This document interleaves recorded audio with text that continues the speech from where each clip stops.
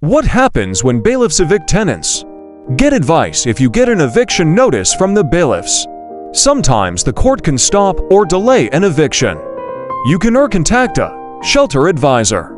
Find other organizations offering free advice. It helps if you have your notice and court paperwork ready. How you know the bailiffs are coming? Bailiffs must give you two weeks' notice of an eviction date.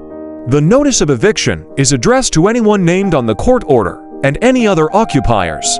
It comes in a sealed transparent envelope and should be posted through your letterbox or attached to the door. On the eviction date, most evictions are carried out by county court bailiffs between 9 a.m. and 5 p.m. Some landlords use High Court Enforcement Officers HCEOs to carry out the eviction. HCEOs cannot turn up before 6 a.m. or after 9 p.m. The notice of eviction from the bailiffs should confirm the date and time. If you're still at the property when the bailiffs arrive, they will ask you to leave. Ask to see their identification. They must have this with them. Bailiffs must not use violence or offensive language.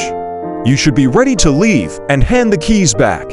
They may allow you a short time to move your belongings out, but it's best to do this in advance. If you leave belongings in the property, bailiffs do not have to give you extra time to pack your things. You may have to arrange with your landlord to collect any belongings left behind. Bailiffs must not damage your belongings. They cannot keep your belongings to pay for court costs or for rent arrears, unless the court makes a separate order that says they can do this. Your landlord must keep your belongings safe for a reasonable time. You could be charged for storage or removal if you do not collect them. You may be able to claim money from your landlord if they dispose of your belongings without your permission.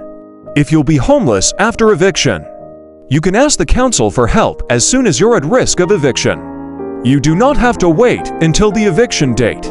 You may qualify for emergency or long-term housing if you meet certain conditions.